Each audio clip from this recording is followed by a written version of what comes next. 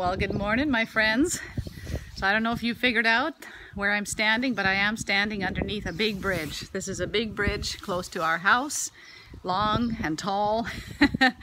and whenever I go for my walks, my runs, I always go underneath this bridge close to the river and it's uh, it's a very pleasant place to walk and run.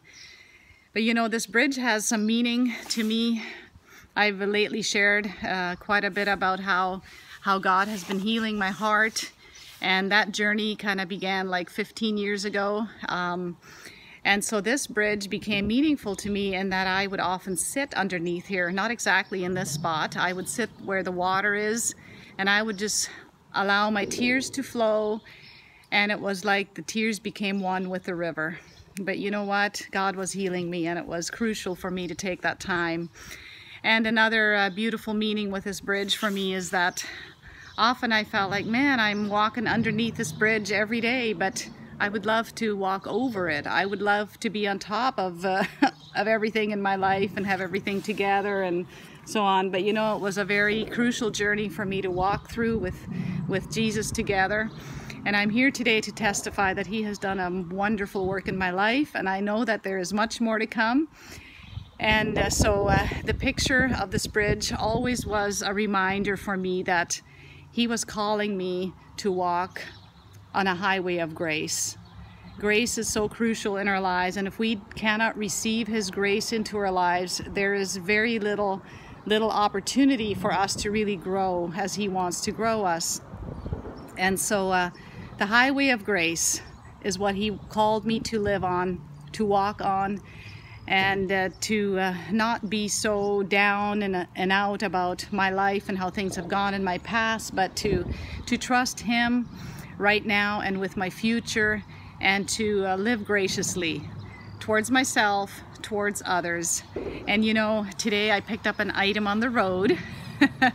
it is my 54th birthday, so it's kind of a special day, and I knew that he would have maybe something a little bit special for me today. And so I saw this item on the road and, and immediately I just thought, no, I, I, I don't know that there's anything with that, but I had passed it and I thought, you know what, I should actually pick that up and just ask the Holy Spirit what he wants to show me. So I went back and I picked it up and so sure enough, he has a bit of a special message for me today. He says that he is well pleased with the decisions I've been making and that that I have um, learned more and more to live in His grace from day to day.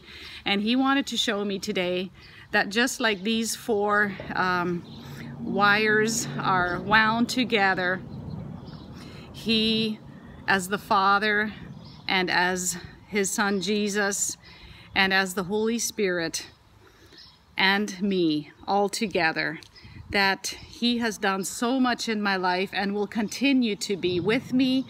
And he has promised me over and over especially in the in the times that I was really struggling with a broken heart and so on and wondering how he would ever be able to heal me from everything that felt so broken in my life that had happened in my past.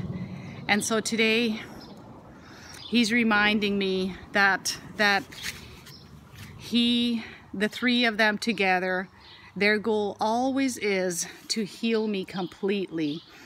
And that's exactly what I have been experiencing from him. And isn't that just amazing? And I know that that is the same thing he wants to do in your life. He wants to be together with you, wound together. Uh, isn't that amazing?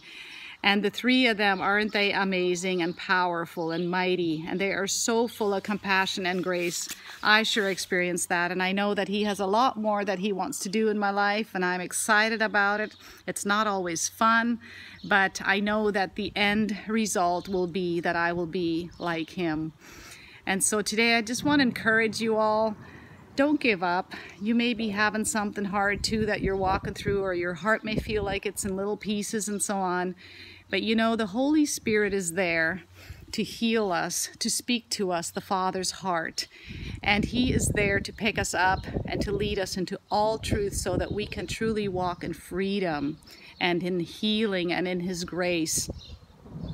You know, the, the time in my life that I that I've really um, I would say it was kind of a very crucial time for me is about 15 years ago. And he has been so, so compassionate with me. And I know that He will continue to be. And I want to encourage you with that today. Do not be afraid of the Holy Spirit. I know that a lot of us have grown up without having been taught about the Holy Spirit, and, and there's a sense of fear in us about it. And you know what? We do make some mistakes, and sometimes we go too much with our feelings and think that that is the Holy Spirit. But you know, He is so faithful in teaching us about Himself and who He is and how He leads and teaches and all that. So I would encourage you don't be so afraid of the Holy Spirit. He really wants to be a huge part in your life to lead you into all truth so that you can truly live a life of freedom, a life of fellowship with Him on a continual basis, daily.